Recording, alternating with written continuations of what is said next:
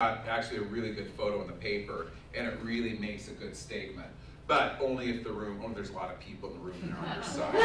Everybody stand up, if you're the only one standing up, not a good idea. um, and then, uh, um, yeah, so you could, you know, send them a thank you note when you're done, you know, when you're done meeting them, uh, things like that. And then, uh, um, you know, this all sounds like, you know, we're, you know, you know, kind of like suck up, but that's not what it's about. So never cower, you know. We will find legislators and there will be people, you know, um, we all know who they are, who are going to be totally insulting and who are going to be um, completely mean and mean-spirited and, and hurtful. And, um, you know, the biggest thing is to take a deep breath when that happens. Take a deep breath. You'll be amazed at how then, you know, you won't be triggered so much to speak. And just give your, you know, your heartfelt reply. But remember to take the long view. Try not to create a permanent enemy if you, if you can do it. The last one is to try and have a sense of humor about all this stuff, okay? It's really important that we have fun while we do this. Um, I mean, you know, it, uh, because uh, we need to sustain ourselves for the long haul of years of doing this stuff. Um, and so have a sense of humor if you can, you know, if you, if you can.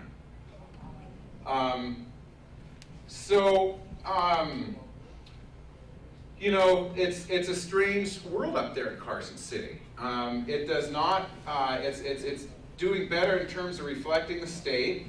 Um, but we need to make sure that we continue to bring people to Carson City um, with us to train the next generation of lobbyists, to train the next generation of legislators. I always say if you're driving to Carson City alone, you're driving with the Eagle Forum. It's one of those uh, things that they did in World War II to get people to drive with people, saying that it was a picture of, of Hitler in the driver's seat, and it said if you're driving alone, you're driving with Hitler, meaning You've got to have people with you to drive to save gas. Just like you've got to have people coming with you to Carson City um, to make a difference and um, train them on how to do this lobbying and how to find out where the doors are and where the access points are and how legislation moves and, and how to get the job done. So, um, you know, the Lone Ranger is a real bad idea, and we're all in this together. So um, go ahead. So um, why don't we just go into pairs right now and talk about anything about lobbying that you think you might really enjoy, anything that's going to make you uh, really um, not, not enjoy so much, all right? And we'll spend about four minutes on this. Some of the legislation impacting our community right now. And, um, uh, but uh, getting our message heard, you're the ones that are going to get more attention, and especially from your, your, your own assembly person and your own senator. Um, they will pay attention to you a lot more than anybody else will. So to the extent that you can contact them and be in touch with them and know who they are, I mean, it's great, you know, working the long haul, make sure if you like them and they're doing a good job, go door to door with them, you know, in the next election. Really get to know them well. Um, the, uh, there's different ways to contact them. Emails now are not working so well. I mean, with 500 a day, letters that are faxed in, maybe. Calls that are calls are good. Always make sure you identify yourself, and especially if you're a member of their um, uh, of their of their district. And then target legislators. You know, the whole gang of 63 is great, but you know, if we're trying to move one vote on commerce and labor, and it's this person, we need to really focus on that person. And so it's really much better for you to call people who live in that district and say, hey, we need you, you're in Senator so-and-so's district, could you please make a phone call to them or send them an email or send them a fax them a letter. So targeting is really quick, is really important. Always ask for their vote. Um, and then uh, um, always better to uh, talk to the sponsor of the bill when you're when you're ready to make a compromise or when you're ready to accept a compromise than it is to than it is to surprise them in the committee with some networks. This distribute jobs according to talents. Not everybody likes to lobby. Not everybody likes to sit down, you know, and, and lobby legislators. There's a whole bunch of other things that needs to be done. Database stuff is really important. List enhancement. Every organization should have, you know, hopefully lists um, that identifies who their voters are and where those voters live and whose assembly, who's their assembly person is, who their state senators are.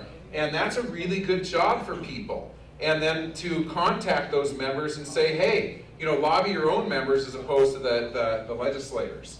Um, you know, uh, fact sheets with a repetitive message, showing the base of support, preparing for the opponent's arguments, you know, trying to figure out what they're going to say and to blunt those arguments before they're, uh, they're wielded. All right? So, so let's look at these different, uh, different um, definitions.